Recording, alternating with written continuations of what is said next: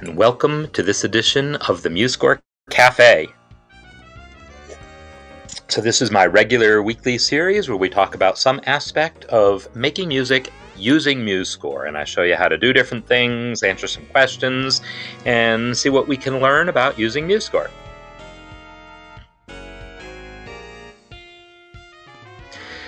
So the uh, whole series is brought to you by the Mastering MuseScore School, and I have the link pinned at the top of the chat. So please uh, check it out if you haven't already. Check out all my online courses that I offer for learning MuseScore and learning about music.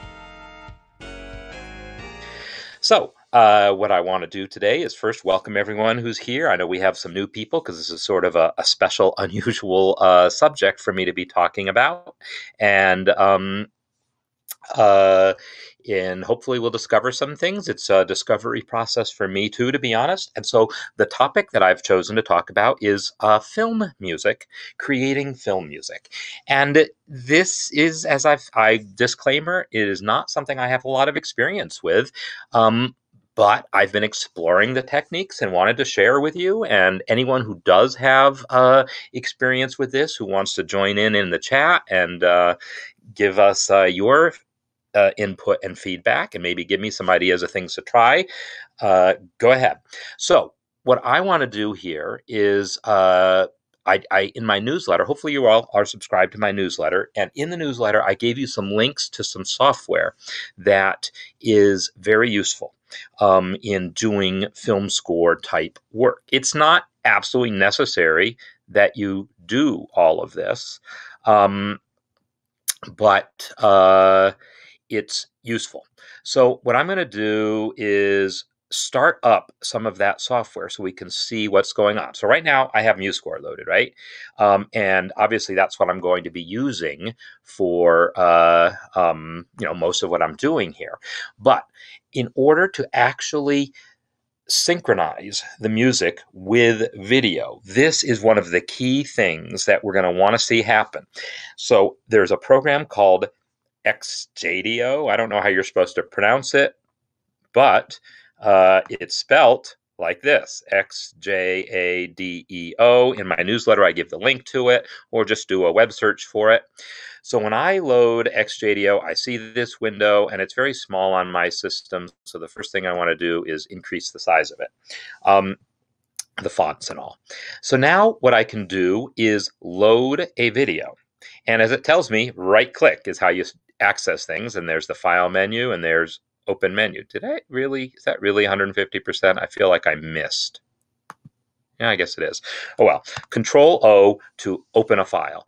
And I have created a video that is the world's least interesting video, um, but it's going to be what we're going to use here. And it's going to be this guy right here that says video for music. And it loads the video and um, we see the model, uh, namely me, or the actor. Uh, there's it's just me talking and wandering around doing aimless things. If I play the video from here, I, I can do that. Nothing much interesting happens. Uh, I think actually I have to. I can't even start it yet, so never mind. Um, this video, though, I want to be synchronized to the music. So there's a tool that will do that.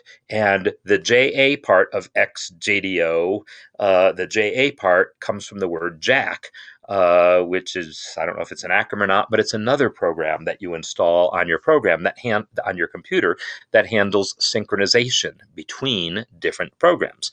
So I've installed Jack, and when I install Jack, there's a program called Q Jack Control, Q Jack CTL. On Windows, I think it's just called Jack Control, um, but it's um, it's the same basic program. And when you start this program, it will then kind of set up Jack for you and do some other useful things. So it's just a little small window here, and I'm going to press the Start button. When I press the Start button, it does some stuff and every once in a while just completely fails. Um, and that's annoying. And I don't know enough about this. So I, I, see these errors about unable to connect the thing, and I have no idea why that happens. So what I do know is if that happens, I can close all this stuff down and uh, try again because I know that that happens and I'm not going to panic about it. Um, I might have to restart my Linux system to get it to work, but nope, looks like it started. Okay, so starting Jack first before other programs might be a useful thing. I don't know that that's supposed to be necessary, but it does seem to help. So now I will again start XJadeo. I will again tell it to display at 150%, so I have some chance of reading it. Uh, and that's just because of my display is a high resolution display, and some programs just don't know how to size themselves right. And now I will open and go to my videos folder and come on. Go to videos folder.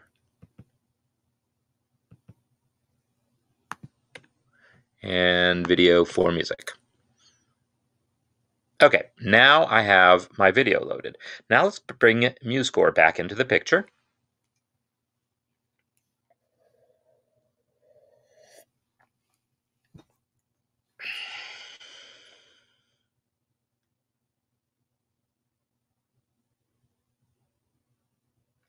So when MuseScore um, plays music, normally it uses its own internal synthesizer. And so, like, if I put in some notes, uh, let me close that, put in some notes. Do you hear anything? I don't hear anything. Um, but that's okay because I don't need to hear anything. I'm going to not be using the internal synthesizer is is the point that I'm making. Uh, Right now, the internal synthesizer I previously disabled because uh, I want to use Jack. So uh, I'm going to switch to the Jack server here, and I'm going to check all these boxes here. So now, when MuseScore plays music, it is not going to just be playing it within MuseScore. It's going to be sending information out to Jack, and Jack is going to handle synchronizing what MuseScore does with what other programs do. So if all is well, when I do this, I'm still not going to hear anything because I haven't hooked up any. Uh, I haven't hooked up anything yet. Let me actually hit that uh, reset preferences. Uh, no, not no, sorry, not that one. Reset audio and MIDI devices. Um, I might have to restart MuseScore. Sometimes you have to do that after switching to Jack. So I'm actually not sure why I'm even hearing anything right now. I really shouldn't be any, hearing anything while I'm using Jack, um, but I'm not going to worry about that either. I'm just going to go on. Um, what I'm going to do, let me see, if I press play here, does anything happen? No, nothing happens. Um, I need to set up my synthesizer. So the third program that I told you all about in my newsletter is called QSynth. And QSynth is uh, it's basically a window that gives you a something that looks kind of like a synthesizer window. Uh, I mean, if you've ever used an actual physical synthesizer, it's got keys on it, but then it's got other controls, right? These are the other controls. So there's some setup you need to do in order to use QSynth. If you hit the setup button, um, you'll find that you'll want to make sure the MIDI is set to use Jack. And that means when MuseScore plays music, it's going to go out through MIDI, Jack, and into QSynth. And so QSynth is going to receive the sounds that uh, MuseScore plays. You'll also have to go to the Sound Fonts tab here and say uh, and and select one. So I've just selected the default one there, but if you say open here, you'll see it comes with a few different sound fonts, and you can also use the one that came with MuseScore. You can install that. So um, yes, you don't hear Jack. This is absolutely true. There's nothing to hear yet, um, but there's hopefully about to be, and if not, I might just have to go through this process one more time. But we'll find out in a moment if this is going to work. So. Uh, we're almost ready, but we're not quite ready. Um, I am going to close MuseScore and restart it just because I feel like, um, yeah, there's no music to be heard yet. I haven't hooked everything up yet. There's a lot of setup you have to do to make this all happen. But I am going to try uh, starting MuseScore again. Because uh, after making sure that Jack was selected, sometimes you have to do that again. So the thing is, MuseScore is sitting here saying, I'm putting music out there, waiting for someone to listen to it. QSynth is sitting here saying, Hey, I'm here, ready to listen to some music from Jack. But Jack's job then is to say who should talk to who. So MuseScore is putting stuff out there, and QSynth is listening to stuff, but they're not talking to each other. So we're going to have to use that QJack control program to make that happen. I'm actually going to load, uh, I'll, I'll, load Reunion so we can uh, maybe hear that. So if I go back to preferences, and actually let me start my, um, where's my terminal window? Got too many windows open. None of those are terminal windows. Look at that. I didn't open a terminal window. Seriously? I guess I closed it at one point.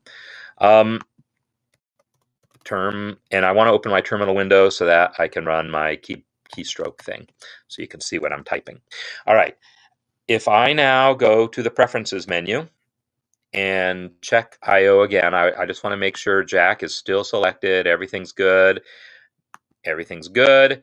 If I play now, I think the cursor is going to move, but we're still not going to hear anything.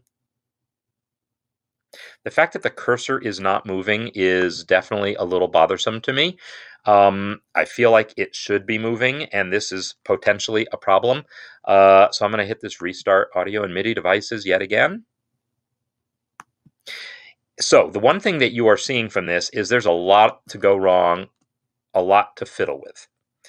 And uh, so I'm still not sure why it's not playing, but I'm still not panicked. I am at least going to show you how to hook these things up. And if it doesn't work, then I uh, just try that whole setup again, and then you get to see it again. And this time I won't have to talk through as much of it. So this program here, this is that QJack control program. This is the program that says which program should talk to which. And I want to tell it, I want MuseScore to talk to QSynth. In this version, this is Linux that I'm on. In the Linux version of this that I have installed, there's a button here that says Graph. On Windows, I've noticed that there's a button that says Connect. I think it's an older version of the program. Um, but in any case, uh, you can see here, ooh, MuseScore is just not even showing up in here. So that tells me that MuseScore um, uh, is not correctly set up still um, and that's and that's part part of why things are going wrong. And I'm not sure why that is, but I'm going to try to fix it. But in any case, what's going to happen here is we are eventually going to connect the dots. We're going to draw a line from MuseScore to this one that says Fluid Synth MIDI. So that's what we're going to do once we sort out why MuseScore is misbehaving so badly. So I'm going to try to go back to my regular uh, setup here. And if this doesn't work, I'm just going to restart my Linux system. It won't require me to uh, won't require me to uh, stop the stream or anything. All will be well. But um, I just might have to uh, restart my Linux system to get the sound to work right. I don't know. We'll find out. So now I think the sound's going to work. So don't hear anything, right? So what I'm going to do is still not panic. that is my um, my motto here. And I'm just going to close all these things down because it didn't work, right? So uh, I'm now going to redo it, and I'm redo it in the proper order, and we'll see uh, if it works any better next time. So close all of these things down. Now I need to restart my terminal. This part you don't need to ever know about, but this is like a, a, a thing about how Linux works on my machine. I want to shut down Linux and then restart it. Okay, so now I'm going to restart. So, as mentioned, there's a lot of technical stuff that goes on here, a lot of moving parts. We have Jack we, well, we have Muse, MuseScore, of course. We have Jack that's going to connect things. We have Q, QJack Control, which is the kind of user interface for Jack. We have XJadeo, which is going to display our video, and we have QSynth, which is going to play the sound for us. So all of these parts have to communicate, and um, it's a lot to uh, to uh, juggle. So as for why I'm using Linux, it's because I like it better in general. Actually, I don't love Linux that much. I, this is a Chromebook I'm on, and that's why I had to shut down Linux and start it because I'm actually on a Chromebook. That's my favorite system. It's nice, simple, lightweight, does what I need, and I can run Linux apps within it. To me, it is the most comfortable system for me to work on in general, and I like the particular Chromebook that I have a lot. I do have a Windows system, but I fight it more. Mac OS, I've never gotten past the fact that I can't just tap on the touchpad to click things. I, I can't even get started on Mac OS because I, I can't tolerate physically clicking a touchpad. So I've never even got past uh, first base. I've never even got out of the batter's box with uh, with a Mac. Um, that's my own bias. Um, and maybe there's some way to do it, but it just hasn't interested me enough. So now that I've got things kind of started up here, I am going to uh, start MuseScore first and make sure I get some sound here. So Marcus is saying to start first Jack, then QSynth, and then MuseScore. I'm going to start MuseScore first, make sure I have sound, then shut it down again. My experience with Linux, well, with Unix in general, Linux is just a particular flavor of Unix. It predates my experience with Windows. Um, so if I load a score here, so for some reason, now MuseScore is at least working properly, right? So now I can close it and try the sequence again. I'm going to start Jack first. So now this is how you would normally do things. If you wouldn't have all the technical issues, you would start the Jack controller. So I started QJack controller and then I press the start button and with any luck, it just works. Yay. And now Marcus is suggesting that I start QSynth next. And by gosh, uh, I'm going to do that because I haven't tried that yet. And um, so here's QSynth.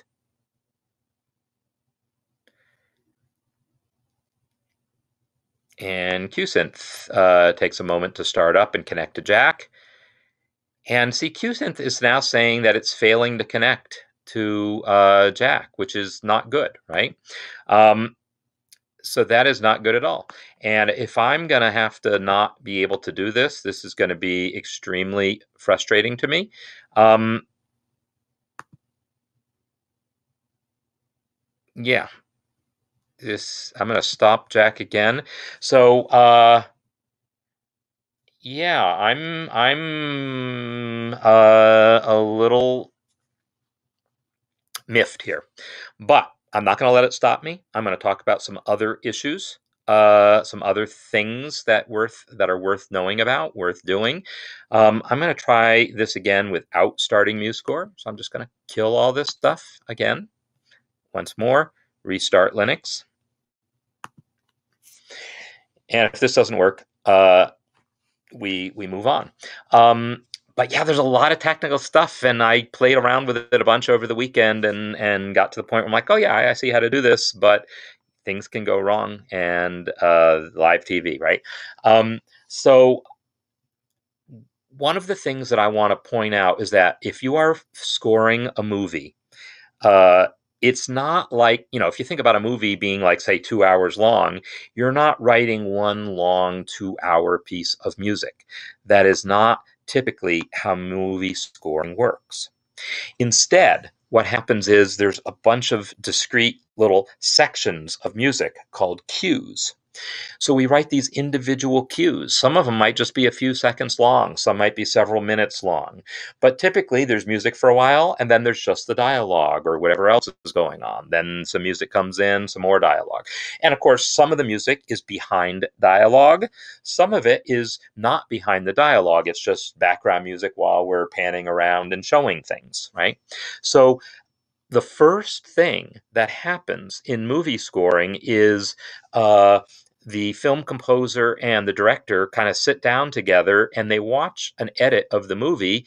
They watch, and it might not be the final cut, but it's a uh, you know something that's close enough to being final that they can start thinking about the music, and they decide where they want the music. They say, "Hey, let's bring in some music here, and let's bring it out here." And let's bring in some music here and bring it out here. That process is called spotting. I say this like I know this world, but no, I, I just I just you know learned it the other day. Um, so I am now going to once more start. Nope, not QSynth. Dang it. Well, I'm going to try it this way anyhow because why not? QSynth is started up and there is no MIDI because I didn't start uh, Jack first. So let me once again start Jack. So that process of spotting is basically how you decide where you want your cues to be, which scenes are going to correspond with the music.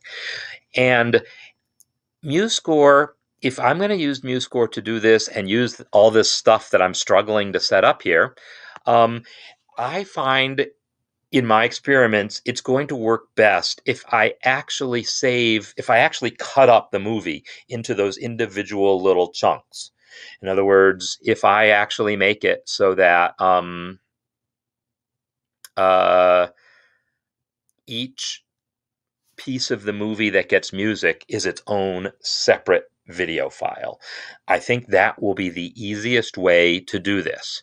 Now, I see that this has started, but I also see that there's no numbers running here. Oh, Q is the letter Q, the letter Q.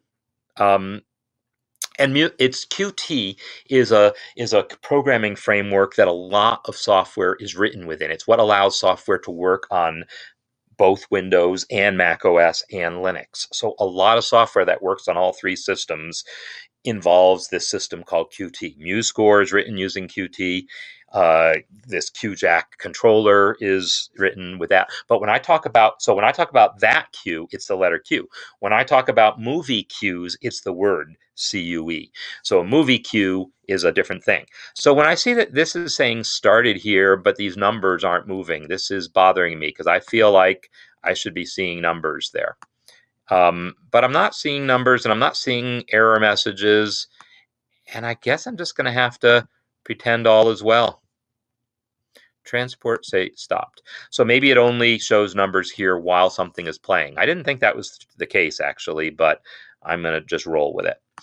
All right, now I'll see if I can start QSynth and if QSynth will successfully connect to Jack this time.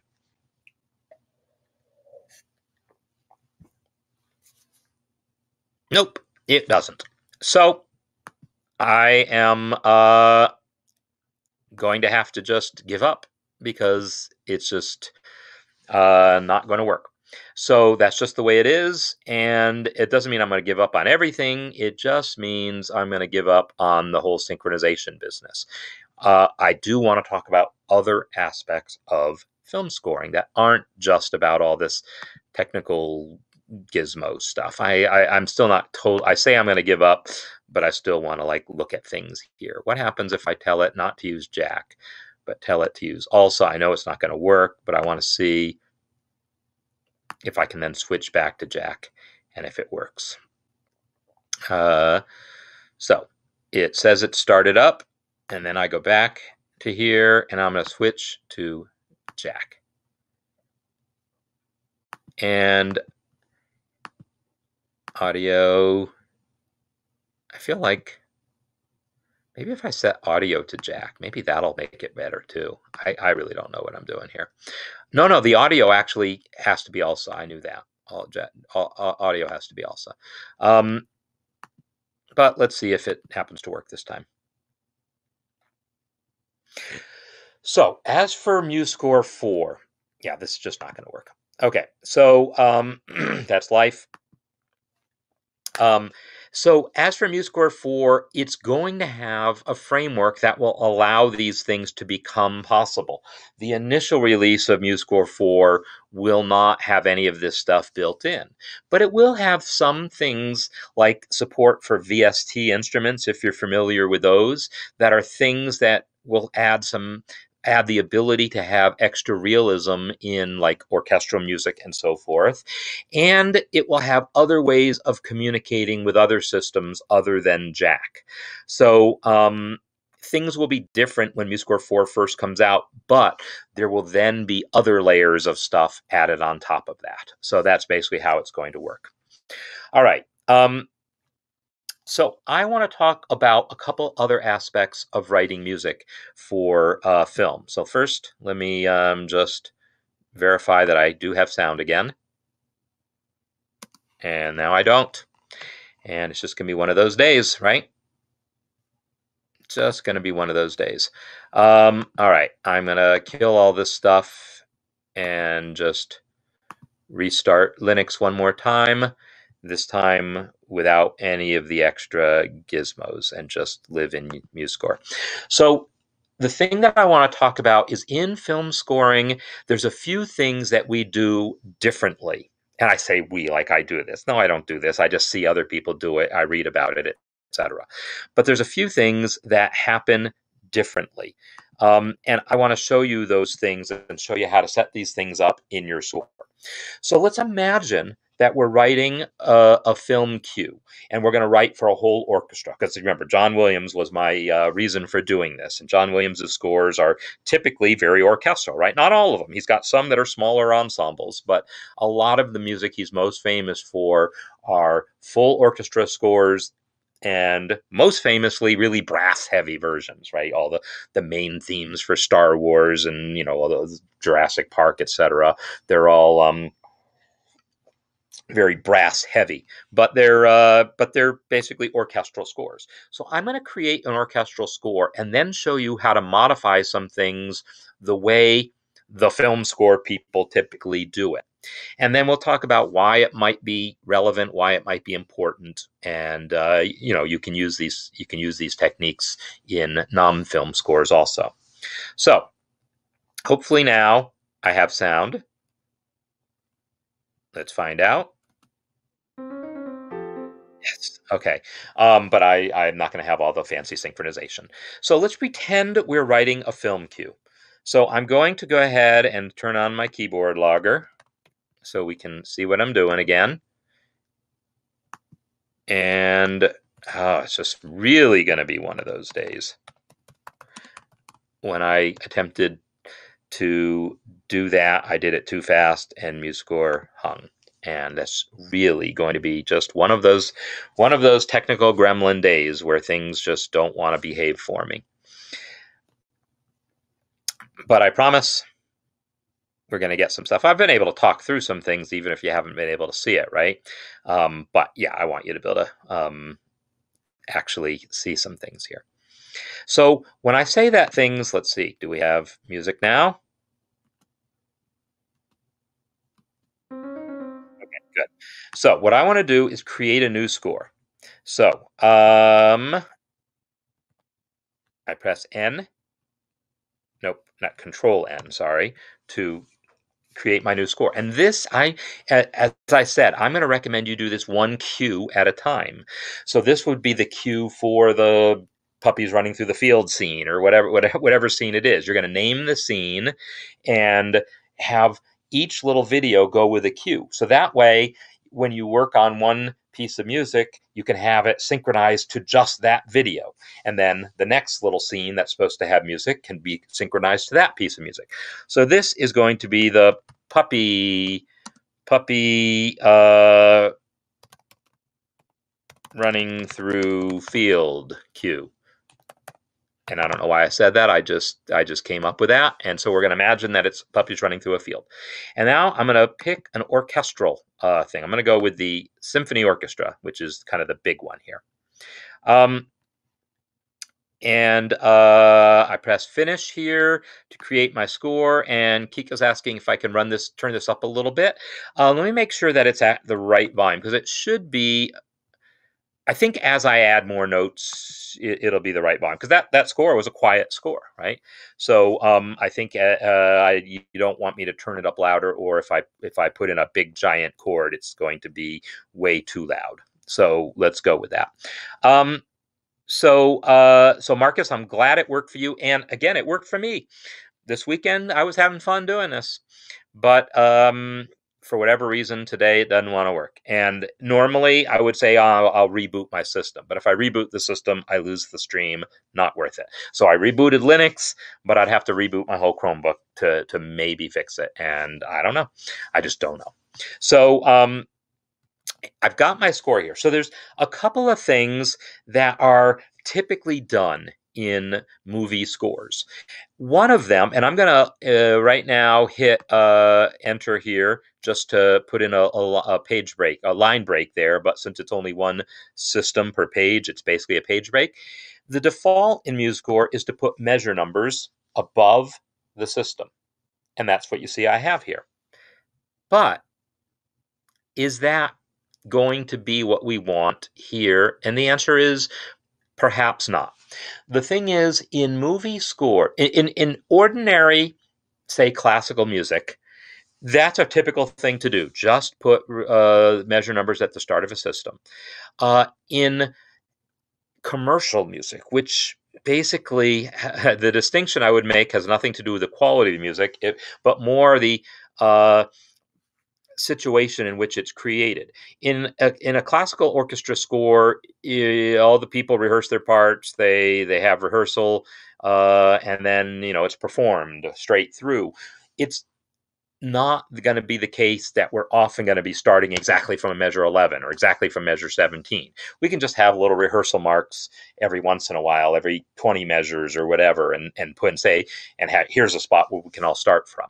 But in film scoring, this is all going to be put together really quickly. Uh, when the composer finishes that music, it's going to be sent off to the studio, and studio musicians are going to record that thing the next day, probably with no rehearsal. Having rehearsal, having measure numbers everywhere is going to be kind of important. Furthermore, not everywhere. Uh, like if I if I go to format, style, measure numbers, you'll see I can make them show up not every five measures, but every one measure. And now they're showing up every measure. So that's good. That's that's certainly what I want. But I don't want them showing up at the top like that because that's not the convention in this world. The convention is they're going to be below the staff. So I'm going to say I want them below. And I want them not kind of left aligned like this, where they're going to bump into bar lines and other markings, but centered.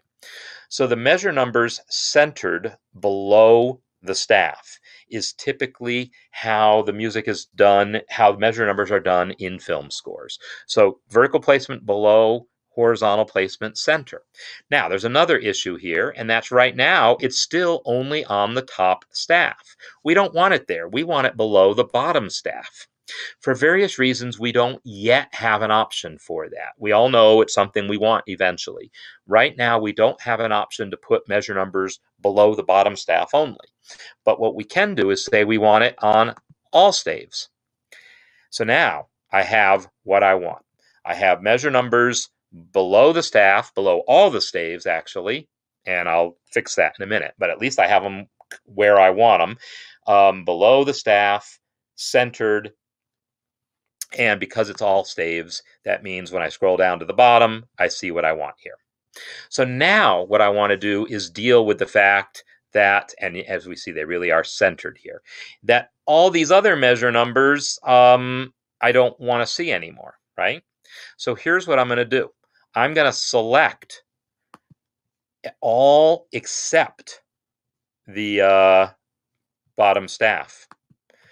So I've just selected, I, I clicked the top staff. Let me uh, shrink, let me uh, zoom back out again. I click the first measure of the top staff shift click the first measure of the second to last staff, and then shift control end. That selects all the way to the end of the score. So now I have everything selected except the bottom staff. Now what I can do is right click one of those measure numbers, doesn't matter which one, and say select all similar elements in range selection. Now, all the measure numbers in that range hopefully are selected. They're not showing up blue for me, so I'm a little worried that didn't work, but we'll find out. If I press V, they did not, in fact, turn invisible. So it's going to be one of those days, is it? Um, how about if I click one measure number and go to the end and shift click another? Does that select them all? No, it doesn't. So there is a way to do this, but I'm not correctly finding it right now. So let, let's, uh, this is one of the things that supposedly I can actually do right. So let me try again. I'm just going to select a few measures here, right click a measure number, select all similar in range selection. No. All right. Let's try it a different way. Right click one, select all similar elements. Ah, now this worked. I now have all the measure numbers selected. So you all think that I don't know anything about MuseScore because I uh, or I don't know anything about anything because I'm having so many problems. But um, you know, this happens. This this definitely happens. It's a question of finding. Apparently, because measure numbers are sort of special things, they're a little. They can be hard to select. So I right clicked a measure number, and then I said select all similar elements. Now all the measure numbers are selected. Now what I'm going to do is press V to make them all invisible. Now I'm going to hope to get lucky. Now that they're all invisible, I'm going to right click the one on the bottom staff and say select all in same staff. And now with any luck, all these ones on the bottom staff are selected and I can press V to turn them back on. Ah, finally, something that worked. Yes. So that is how you can have measure numbers centered below the bottom staff. Now, that whole thing I did of selecting all the measure numbers, making them invisible, you, you got to wait to do that until you're done with the score. Because as soon as I add new measures, I'm going to get new measure numbers and they're not going to be invisible. So wait to do that until you're basically wait to do all of this business until you're closer to done with the, sto- the score, or at least until you've figured out how long you want the score to be, how many measures you want it to be. And here's the good thing about film scoring you know that because you already decided in that spotting process how long this cue is going to be. You know it's going to be exactly 27 seconds long or whatever it's going to be. So you can already predict how many measures long you want it to be if you know what tempo you're going to need. So, um, so yeah, add a few extra measures, do this process. And then if it distracts you to see those invisible measure numbers, well, there's a couple things we can do, but easiest is to go to view and turn off invisible things. And now I see only what I want to see, right? So that's the process for setting up measure numbers the way you might want. The other thing that's typical in film scores is if there's going to be time signature changes, I'm going to go ahead and add a time signature change. I'm going to change to 3 4 right here. Oh, and look at that. That messed up all my hard work with the measure numbering. I was so afraid that that was going to happen. So don't do that business until you um, until you're ready. But what I'm going to do is I'm just going to select all similar elements and I'm going to use the inspector, F8, to just make them all invisible. All my measure numbers are invisible again, and then I will just turn them on when I'm ready uh, in, in the bottom staff. So uh, now that I have that 3-4, I want to show you, I'm going to add a system break here to spread it out a little more. This idea of repeating the 3-4 on every staff, that's the traditional way for time signature changes to be notated in music, but in film scoring, for similar reasons to why they want the measure numbers on every measure, and uh, for similar reasons to make it easier during rehearsal or in lack of rehearsal to make it easier basically to get this stuff right in sight reading. Film music is typically going to have a lot of time signature changes, not because film music is necessarily weird music, but we're trying to synchronize to action in the film and maybe it's just not at a convenient you know we we have some music that's going at this pace and then we need something to happen right here exactly 3.2 seconds in. So we might have some music in 4-4 and then we might just have to have a random 3-4 measure so that the next thing the next measure happens at the right time right? We're going to do that sort of thing a lot. We're going to have a lot of changes of tempo and changes of time signature to get the right things to happen at the right time. It's not just write music however you want to write music. Where there's all this sort of really tight timing. I want this to happen exactly when that guy drops the spoon. I want this to happen when that puppy jumps uh, over the flower because I did say it was going to be puppies and flowers, not people and spoons. But um, whatever you have particular things you want to synchronize your music with it's going to require a lot of tempo changes and probably a lot of time signature changes so the um, this way of showing time signature time signature changes is as I mentioned, not really the norm. The norm is going to be a bit different. So I'm going to um, show you how it works. It's the norm is going to be we're going to have big numbers not on every staff, but between the staves. Some people would only put them between some of the staves. There's uh, your variations in how you do it, but I'm going to show you how we're going to do this. I'm going to select one of these time signatures. And notice, by the way, if I click a time signature, it looks like they're all selected, but are they all selected? That's the question. In some ways they are, in some ways they're not. So I'm going to change the scale here in the inspector. What I want to do is stretch them taller but not wider. So I'm going to change the Y scale. And yes, they are all being affected. So great. Uh, if I make them twice as tall as they normally are, that might be fine. What I want to do now, though, is move them below the staff. So I'm going to use the Y offset here to push them down so that they're below the staff. And maybe I made them too tall, so I will scale them back. Maybe just 1.5 is as far as I want. So we can play with our distances between the staves also so that this looks the way we want, but maybe we don't actually even want it to show on all the staves. We might only want it to show like between sections.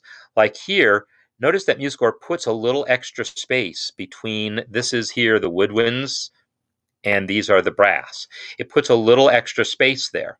Maybe that's the only place I want to see the time signature. Maybe I don't want to see it everywhere because maybe that makes the score too cluttered.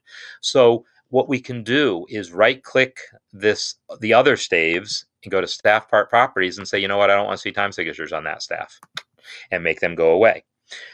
If you don't want it to go away like that, you could just select it and press V, but that makes them all disappear. So I'm not going to do that. Instead, I'm going to control click the 3, 4.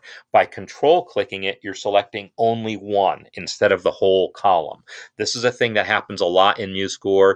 There's certain things where clicking, like for key signatures, or if you think about adding a key signature, if you add a key signature, it adds it to all staves at once. Of course, that's normally how music works. Same with time signatures. But if you control click, it narrows it down to only one staff at a time. So if I control click that time signature, now I can press V and hide just that one. So I, whoops, I keep doing the wrong thing here. Control V, control V, control V. Somehow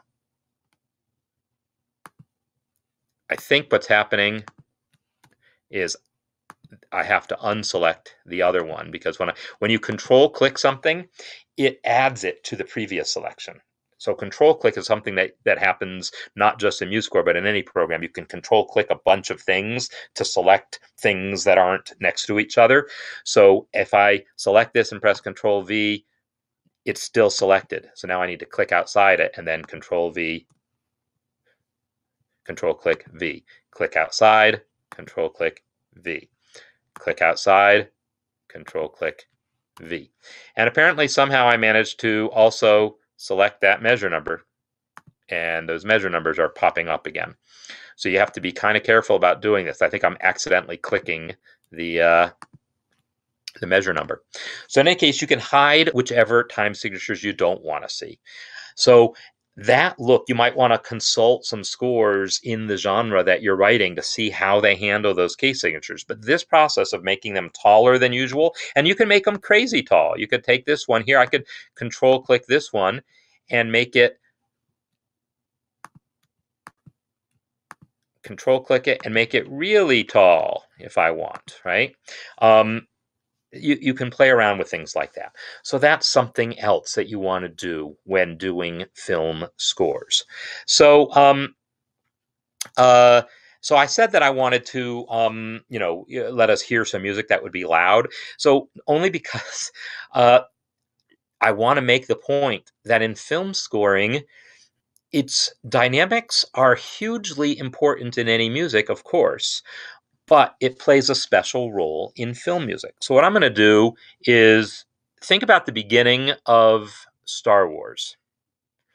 Bum, and and um, is a, you've you've had the the scrolling thing where it goes by and says long time ago in a galaxy far far far away, etc.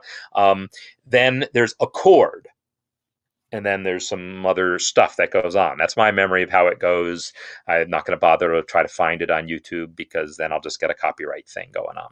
So I'm just going to score a big C chord and then contrast it with other types of things. These big chords you can use in places where there's no dialogue, where there's nothing important in the music, in, in the film going on sound wise. In other words, where the where the visual of the film is telling the story, where you don't need to hear the dialogue, where you don't need to hear the door squeaking or whatever else is going on, footsteps. You don't need to hear the sounds of the movie and that's common. That happens in movies. There's places where the sound of the movie itself there isn't any sound. It's just picture. You know it might even be a scene of a nature scene and the wind might be blowing and you might not hear the wind in the movie. You just hear the music and the music is telling the story of wind. That's a common thing. So um, this idea that you are fine tuning your music to what's going on there with the idea that maybe it's actually taking the place of some of the sound. So, in any case, I'm going to put in a nice big C chord. And I'm going to do this by making it a. Um, oh, oh, and here's another little trick for you. Um, before I even enter a note, I know that the dynamic straight down the, the board here is going to be double forte. So, what I'm going to do is select that whole column and then just go ahead and add that right away. Just go ahead and write in double forte. Boom. So now I've got the double forte on all my staves. That's a really nice thing to be able to do. And now I'll go ahead and write in, um, so I want to enter a whole note, and then I'll go down to the staff below it, and I'll make this be in. I'm just putting in a fairly generic voicing here. G, so orchestration, learning orchestration technique of figuring out how to um, take a chord and spread its notes out among the different instruments in, in, in an orchestra. That's called orchestration. It's a whole topic in itself. I would say I have some experience in that topic, but I'm not necessarily an expert in it. But I'm doing things here that basically are commonly done. So I'm taking a basically a C chord and splitting its notes up. So I want to be in concert pitch when I do this so that I'm definitely uh, entering the notes I want to end. Enter. And then my bassoons will be uh, a G and a C. My horns, I'm just going to click these things in. Oh yeah, oh yeah. So the thing is, when you have four horns, a typical thing is uh, one and three are on the top staff, two and four are on the bottom staff. And there's historical reasons for this, where basically some players specialize in playing high notes, other players specialize in playing low notes. They might have different mouthpieces and everything. And so often we double the horns. So, in fact, if I want this to sound bigger, here's a little trick for you, a musical trick. Uh, don't actually give the horns four different notes. Give them only two notes. Let the first and third double that. So I'm going to let them double the um, G, and then these ones double the C. For trumpets, I'm going to let them be an E and a C. For the trombones, I'll let it be a G. Whoops. That's why I don't use the mouth normally. For tubas, I'll let it be a, a C down there. For timpani, it'll be a C. And uh, harp is barely going to contribute because, but it'll be a whole chord.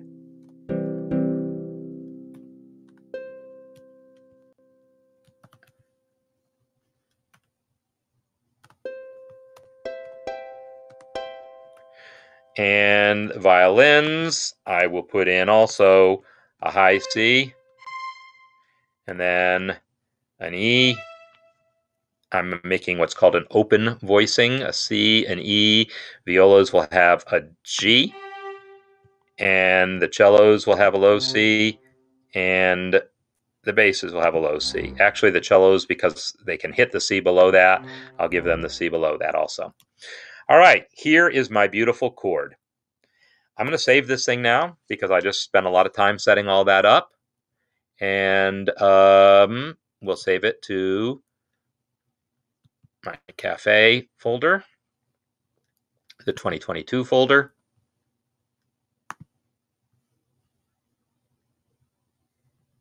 All right. Now, Kika, this is why I didn't turn up the volume before. You ready? I hope you were ready. Um, so, that actually sounds.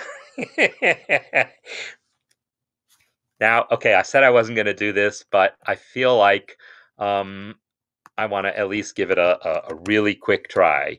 Star Wars opening chord. I want to see. It's basically the same thing.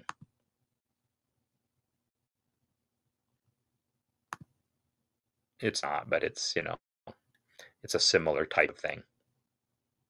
We're going to hear an ad first, right? Sorry about that.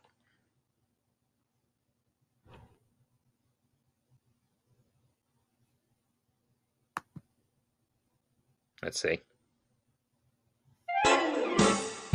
Hello and welcome to the very first Yeah, yeah, episode yeah, of the John Williams Geek Cantina, where we analyze brief moments from exactly is he doing there? Essentially, that is just a B flat major chord. Oh, but it's you B can find flat. a B flat in many other composers like like Come on. Mendelssohn, Mozart, Schumann, and the relatively contemporary William Walton.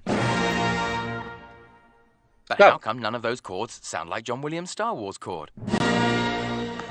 That's the chord. So B flat though. So let me select it all, and I'm just going to go. Well, first of all, no, I'm, I'm going to I'm going to transpose it because I, the whole piece is going to be in B flat. So I'll go to Tools, Transpose,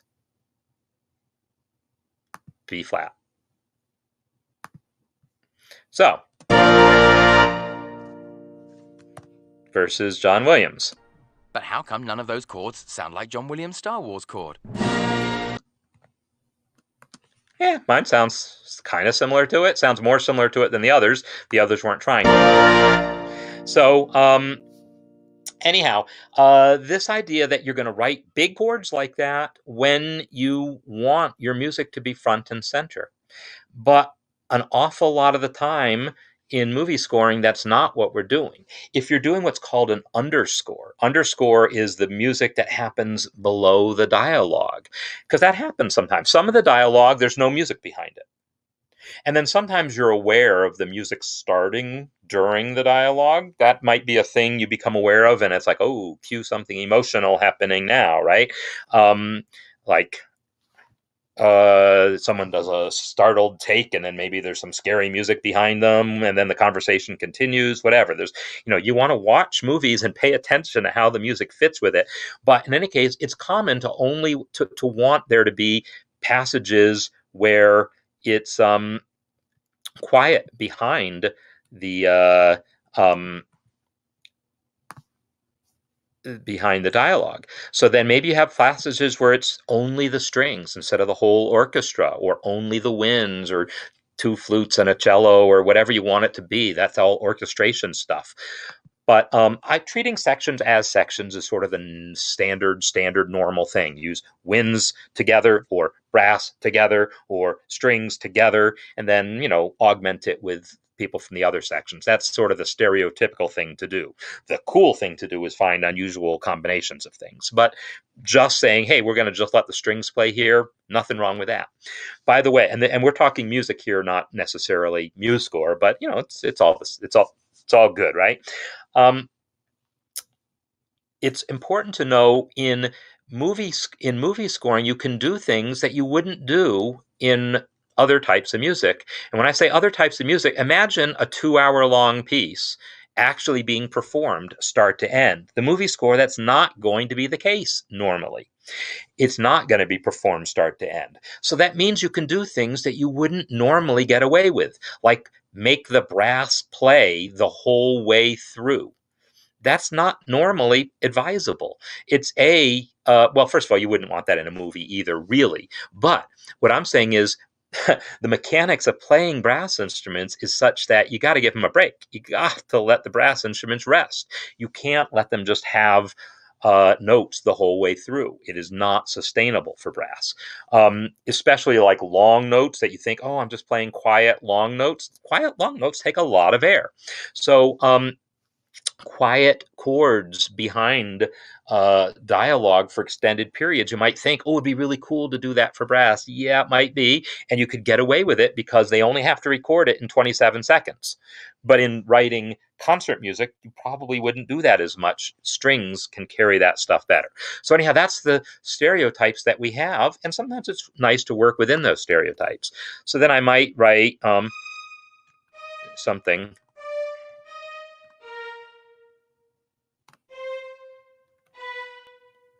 Oh, I keep thinking I'm writing in in um, in uh, in uh, C, but I'm not in C.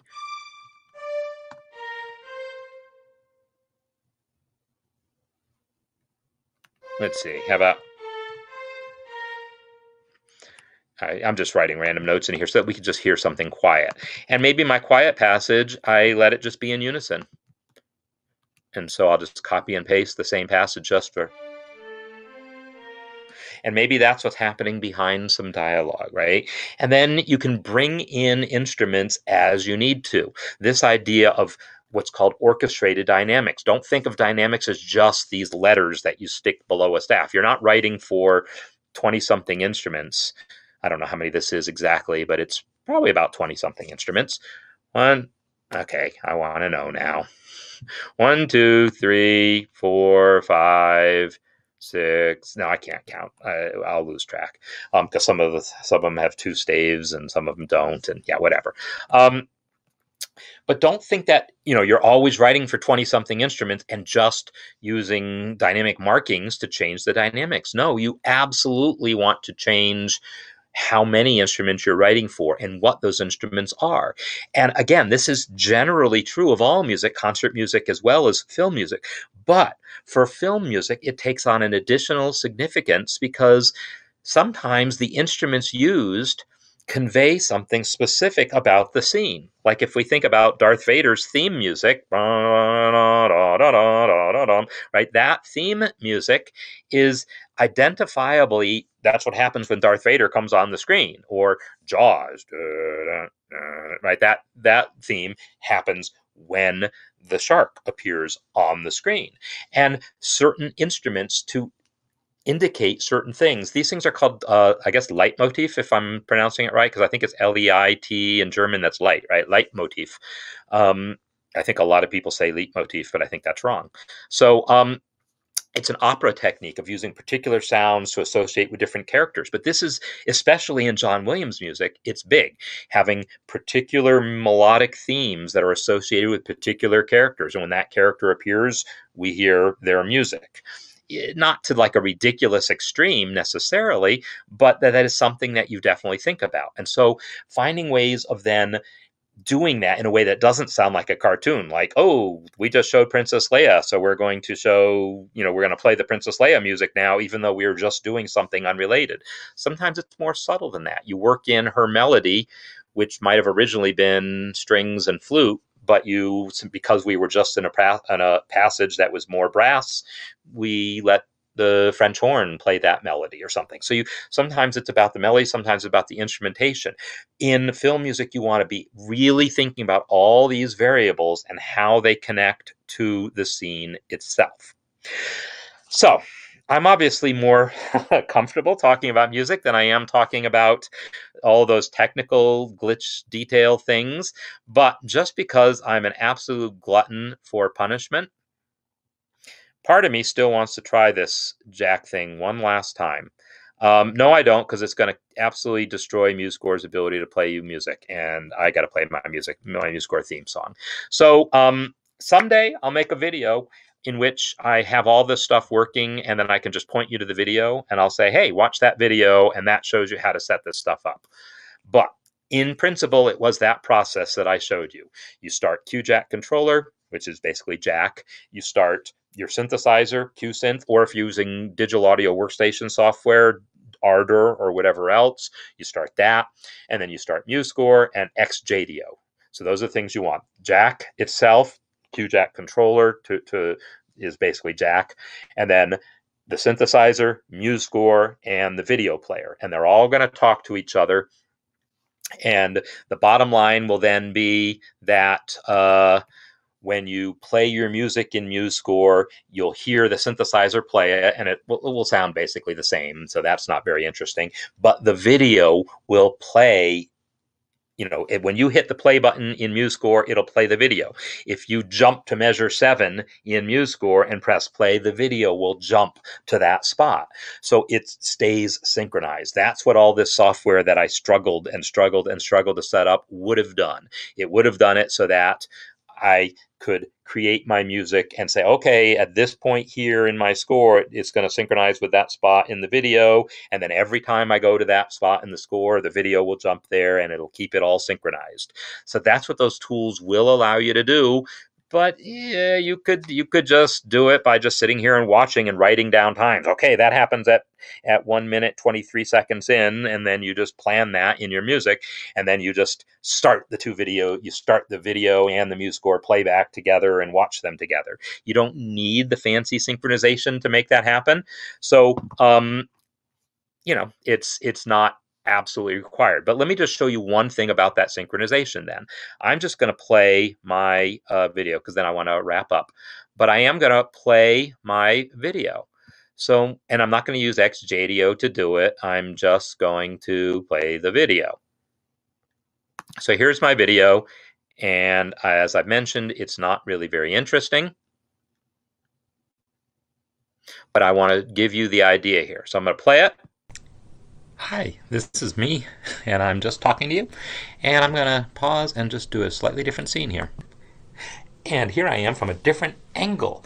This now, is like why is it being all jumpy? I don't know. We want some different music. So let's look at what just happened there. When I played there, watch the timer here. Hi, this is me, and I'm just talking to you. And I'm going to pause and just do a slightly different scene here. Seven seconds in. Seven seconds in is when the scene changed. If you want to synchronize your music to it, again, XJadeo makes that really easy because it will just show you right where what measure that's on. But I can do that too. I can take my puppy through the thing, puppy through the puppy running through the field music, and I can open up the play panel here and watch the play position timer here. So get ready for the loud music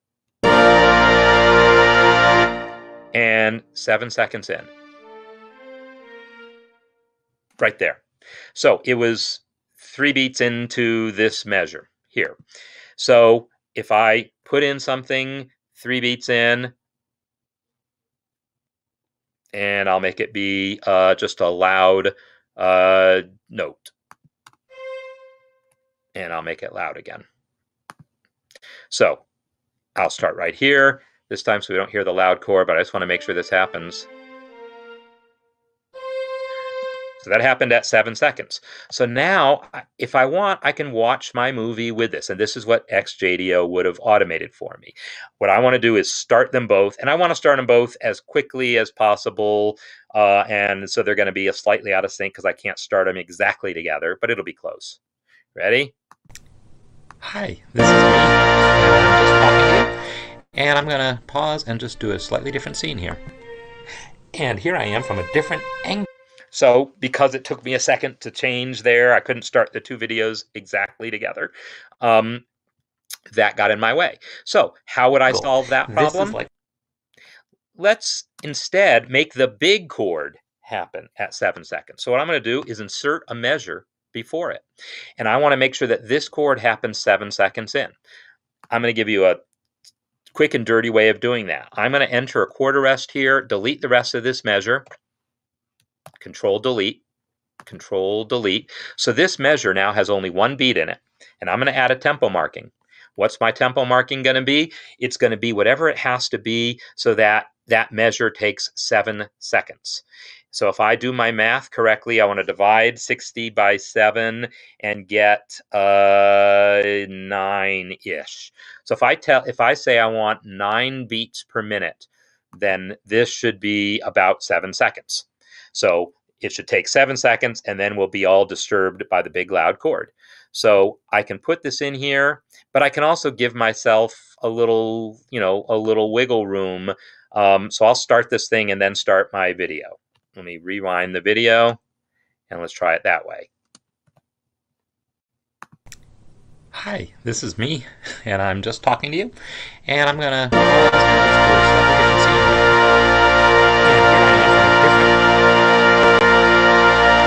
Oops, sorry, now that measures way too uh, slow also. But anyhow, you get the idea. By playing with the tempo markings, you can control the length of these pauses and and because uh, you're going to have to do that. XJadeo doesn't do that for you, but it allows you to say, okay, if I want four seconds of silence, you put in a beat and you put in a tempo marking that achieves it for you. So that's basically have have to uh, um, have to do things. So uh, there's a question about Note Performer, and basically there's technical and legal issues involved, logistic issues with the licensing and so forth. So instead of Note Performer, the focus is on a different system that's similar. It's a system that we do have the rights for that we can control and integrate with better. So um, it's that's what has been announced in the MuseScore. If you go to the MuseScore forums and look at the announcement forum, you'll see discussion of this thing called Muse Sampler. That might not be the final name, but it's basically uh, Note Performer ish. I, I can't speak to how it compares directly because it's still in the works. It's not developed, but it, it does seem unlikely that Note Performer itself is going to be supported right away. This other thing will be supported um, sooner.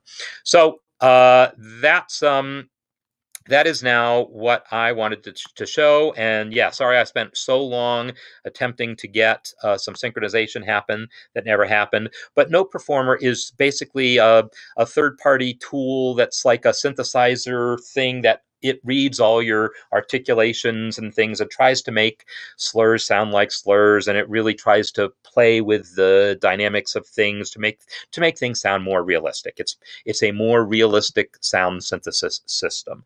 So MuseScore 4 will have its own more realistic sound synthesis system Okay, so thanks everyone for bearing with me, and hopefully you found some of that, uh, some of the stuff there towards the end especially useful. But even just hearing about how the synchronization could work gives you an idea of what's there. And I did show you the process. I just couldn't get it to work, but that I swear is the process. So, this is what I do every week, and sometimes it's uh, some technical stuff to deal with and sometimes we just get to talk about simpler things. Next week, I'll talk about simpler things. I'll probably have a, a bit of a basics kind of a thing, event of you know some basic things. Um, so uh, check out my online course, the link at the top of the chat, and come join me tomorrow for my music masterclass where I talk more about actually making music. And next week I'll be back with the cafe again. So thanks a lot, everyone, and see you next time.